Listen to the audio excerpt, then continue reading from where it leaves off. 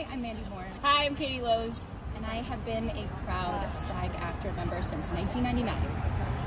I too am a SAG-AFTRA member, and I'm about to take out my uh, phone to look up how long that has been that I've been in SAG-AFTRA. But I Look at should your know app. this. It's been a really long time. Please hold. Member since 2004. Okay, okay. So Here we are. obviously this is day three of the actors strike, but how are you guys feeling first and foremost about the, the core issues?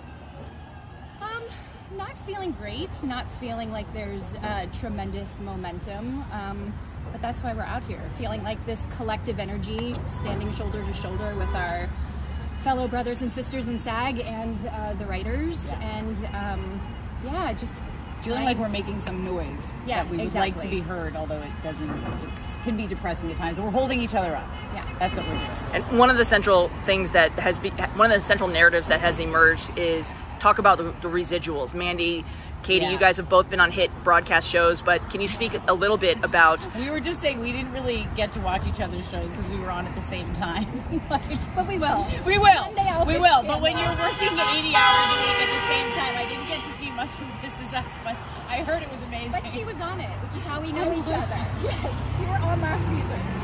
Um, yeah, the residual issue is a huge issue. I mean, we're in incredibly fortunate positions as as working actors and having been on shows that found, uh, you know, tremendous success in one way or another. Um, but the fact that you know we were on these shows and that many actors in our position for years, years uh, Before. before us.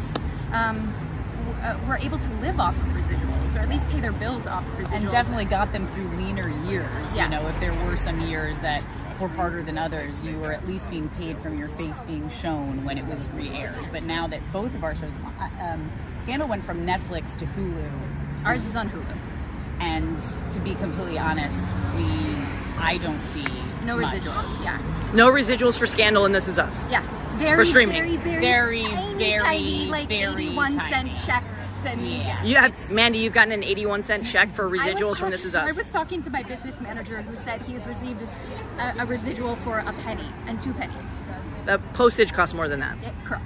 Yeah. So you have to like let them add up for a while before you go deposit Before you them deposit the them, because you, yeah, it needs to be something substantial. Worth driving Yeah, I mean, for. there's a tiny amount. Whereas, again, if you are someone who's been fortunate enough in our positions to do 120 plus episodes of a successful show in previous years 10 15 20 years ago that re-airing would be the thing that could sustain you on years where Yeah. you know what i did this smaller project or i wanted to go do a play or something like that. Or that you had you kids. or you had kids. or you Yeah, you have, have a kids family. and you have a family to provide for and that is just not It's not the an option reality anymore. the entire model has changed And we Um, need a contract that reflects that. I think that's what we're out here fighting for. And fighting for our fellow union members who have to make $27,000 a year to qualify for health insurance. And again, when you take the residual issue off oh the there's table, no shot I think there's just no something shot like 87% of members don't, don't qualify for yeah, health insurance and they're not able to cross that threshold. And so that's why we're out here with these signs. Thank you guys. come on